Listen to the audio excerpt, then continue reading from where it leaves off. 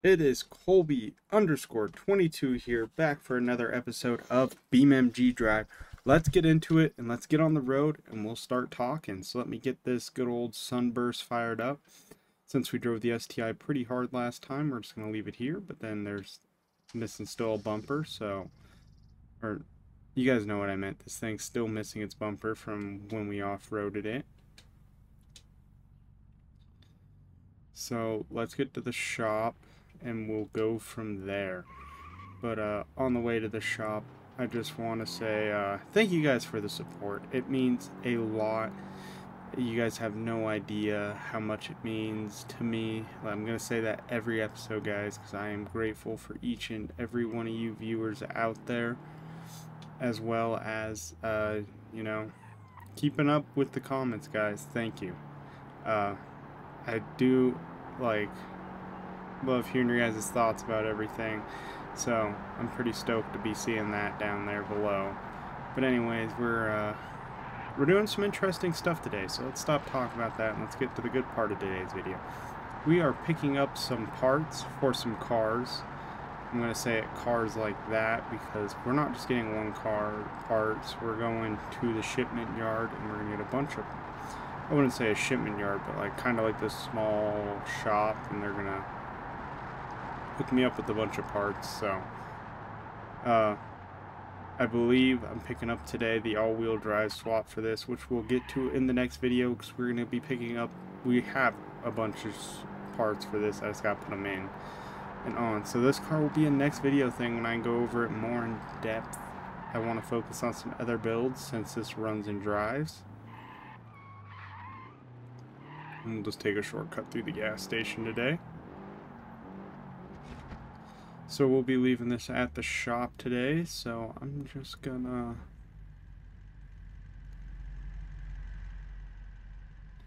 Just gonna leave this right here. Anyways, we're picking up wheels for the Covet.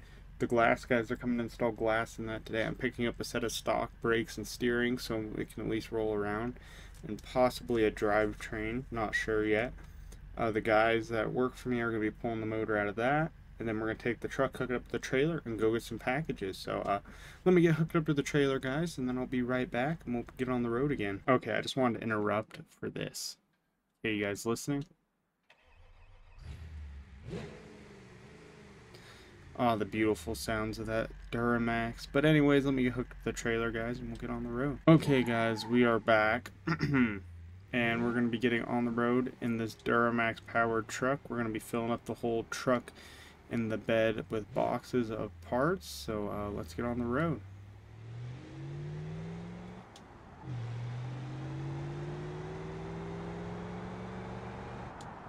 Oh, and by the way, let me know what you guys think of what we're doing today down below.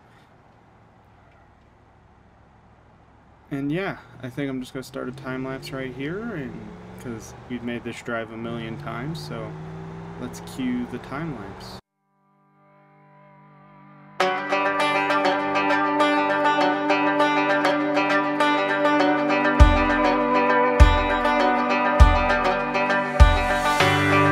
Okay guys, we are back here. Uh, we did get loaded, so we're going to be heading back to the shop. This is a fairly heavy load, as you guys see. We had some mishaps with my engine mod. I don't know why it just blew up out of nowhere on the way there in the time lapse, but that was weird. And then uh, my driving almost ended this for us today. Like, I was flying into that corner when I shouldn't have been. Oh, ran up over the curb. This is heavy. Uh, we got the truck fully loaded on the inside. We got the trailer fully loaded, but uh, I believe this LBZ Duramax can pull it. I mean, it, it is struggling a little bit because we're only making stock power, but uh, it'll get up there eventually, 0 to 60 time, you know. Oh, oh. This trailer does not like high speeds. Noted. So I guess we're going for fuel economy. Anyways, guys, uh, hopefully you enjoy what I'm doing with the cars today, and I'm excited, so... We're coming around the mountain. I'm kidding, I'm kidding. But, uh, yeah, so... Oh, please no. Trailer sway. We should have lowered it, or, uh, like, you know, put more of the load up on the, like, you know, reposition that trailer load differently. I didn't think about it at the time. I just wanted it loaded, so... Anyway, know for next time, because this isn't going to be the, you know, the last time, so...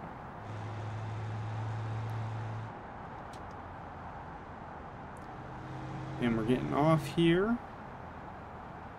Start getting on the brakes since we are hauling a trailer. Kind of scared of hauling a trailer in this game. Kind of heavy back there. Like, I could definitely, like, if I was going first person...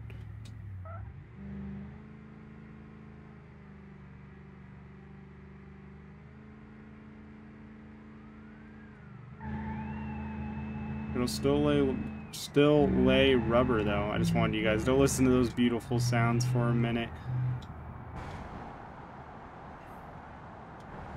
So like, if I'm pressing the brake there, you can feel it kinda, and you can see me kinda correct. But yeah, we made it in one piece at least. I will say that. That is impressive. I gotta figure out where I want to offload these. I believe just to that bay door over there. I mean, it is my shop, so I don't know. Hmm? Let out on that clutch a little too fast.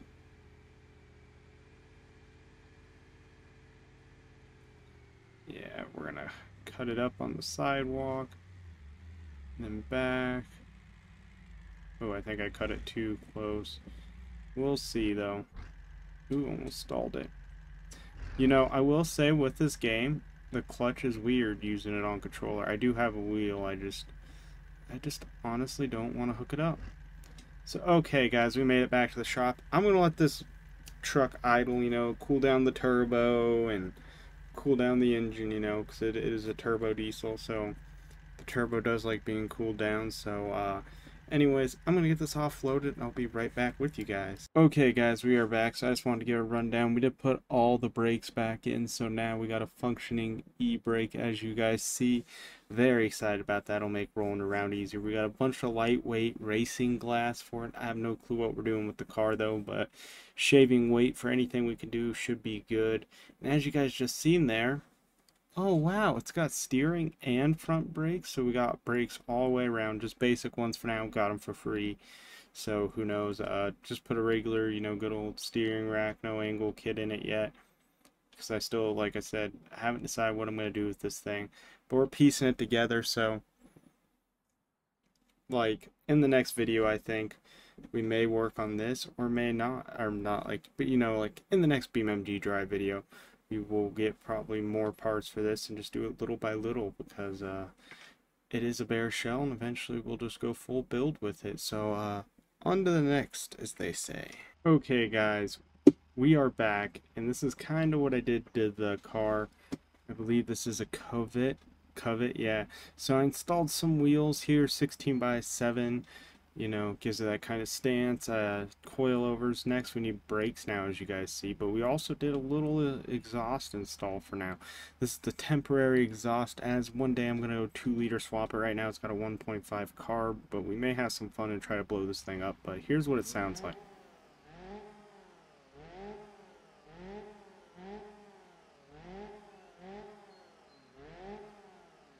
I like how it sounds. It's going to be an alright daily. That's what the purpose of it is. So, okay guys, we are back here.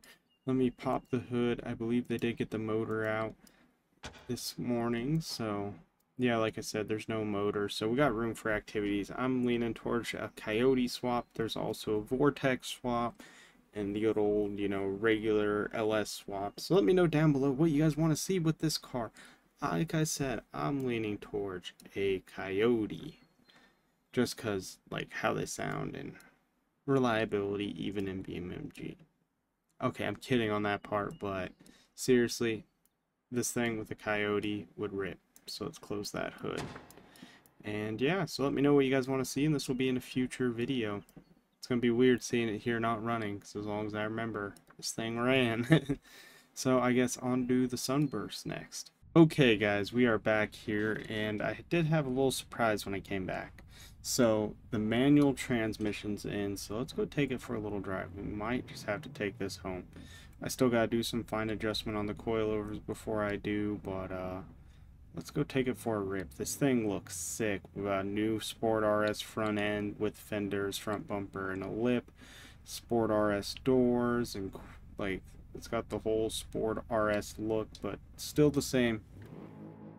Two liter drive or two five NA drivetrain, which we could change that very soon. So let's go take it for a rip now that it's a stick shift. Oh, and it's all-wheel drive now that we did the stick shift conversion. I mean, could use bigger brakes, but, uh... Oh, handles so much better. We're just going to take it to the top of the hill here, and we'll come back on down. Sorry if this is a long video. I'm just, you know, knocking out some of these projects one by one a little bit more.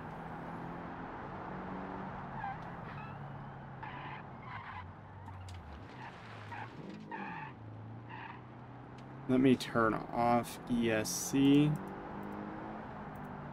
There we go. Maybe we can hit these corners a little harder now. The drivetrain's the main limitation. Yeah, because it's still slow, but it handles great now. And no more laggy CVT, you know, holding it in gears. So this thing may actually be faster now that it's a stick shift. So for those of you wondering, it was a front-wheel drive CVT, so it's basically a base model Impreza if you look at the real-life version, but uh, now it looks like a STI kind of, like if we're referring to the real-life cars, but which in-game is a Sport RS. So now it looks like a Sport RS. It's got kind of its drivetrain, but uh, still needs some help, so... And I'm not really at my best at driving right now. I'm just kind of taking these corners kind of quick, you know, just seeing the big difference. But it feels like it's a lot better than what it was, and I'm pumped about that. So let's get this back in the garage. I might just take this home tonight since it got done and leave the Covet here once again.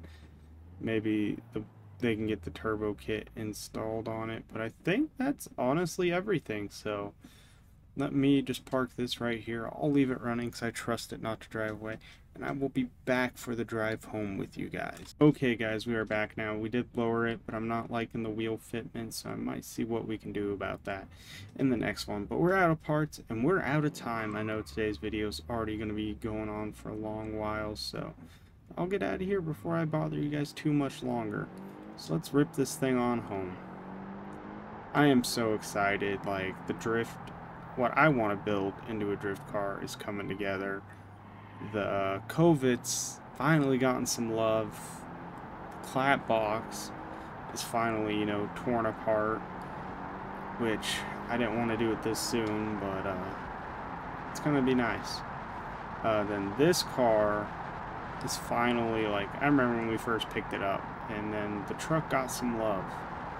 It drove uh, with that little glitch in the mod even.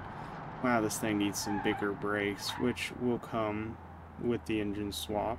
So if you guys are looking forward to any of that, let me know. Let me know of anything I can improve on these BMD, BMG drive videos. Just like let me know down below because I want to, you know, provide the best content for this that I can. So if you guys want me to improve on anything, like whether it's what I'm talking about or anything, drop it down in the comments below, guys. But uh, I'm excited for the series. I think we're on episode 7 or 8 now. It's gone a little bit and still getting a ton of love, so I want to say thank you for that, guys. But uh, next video, we're either going to be working on another car or we're going to have to load these up on, like, get them loaded and take a couple of these cars out to Utah and enjoy them. Uh, the daily, we're not going to modify it yet. I've said it once before, and I'll say it again. It's just a daily. Which, I say that, and then I go buy another daily, so... But I can't buy any more cars, like, rent to sell a car, so... We better finish one of these, or it's gonna get quite boring. And I know this car ain't going anywhere, because I, I love this thing. So, uh, with that being said, guys... Thank you guys for watching today's video. Like I said, drop your comments below down on your opinions or anything, or about anything, or on anything, or you guys know what I mean. Drop your comments down below about anything, as I always say. And be sure while you're down there to hit the like button, smash that subscribe button too if you are enjoying my content. Hit the little notification bell that will pop up when you click it. And yeah, guys, without with uh, tongue twisters tonight. Tongue twisters. But I'm going to get out of here, guys. This is Kolbe underscore 22. I hope you enjoyed today's video, and I will see you guys in the next one coming back for more? Why do you keep coming back for more? Why do you keep coming